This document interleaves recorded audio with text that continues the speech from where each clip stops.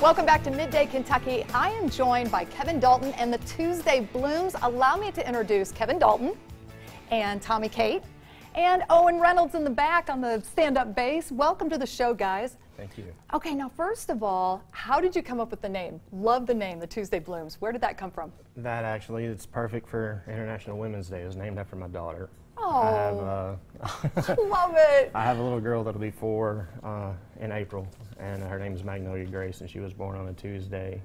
Ah. And the first six months or so, it just seemed like every Tuesday something new just progressed and bloomed from her. You Yeah. Know? So I wanted to somehow, when I started this band, to To honor her. somehow it be all for her. Oh, so. that's sweet. Now let's talk about the Hi, band. Maggie.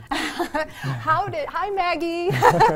Your dad and the band sound great. Um, first of all, where did you get the influence for your songwriting? Because you've written a lot of songs, right? You've Yes, written over 300 songs, and I read in your bio that you started at age six. Is that I right? started, I started playing guitar at age six, and, and maybe wrote some songs that young, but uh, Yeah. they're long gone. uh, but no, the, I mean, the influence that comes from different places. I mean, everything I write is pretty much personal experience. Mm-hmm. So, um, all of my days, all the interactions with people I meet, this this moment right now is is a songwriting itself, and you know, it all may end up Right. on guitar and and Mm-hmm. sang or. Who are some of your musical influences? Uh, Would you say?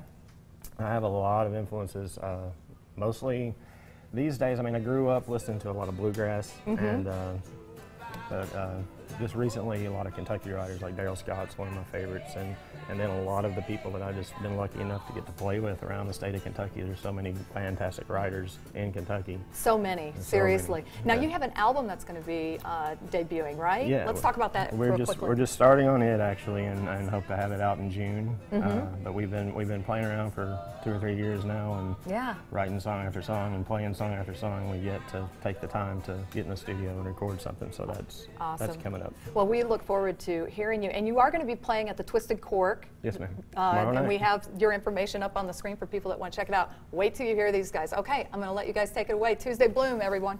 All right. One, two, three.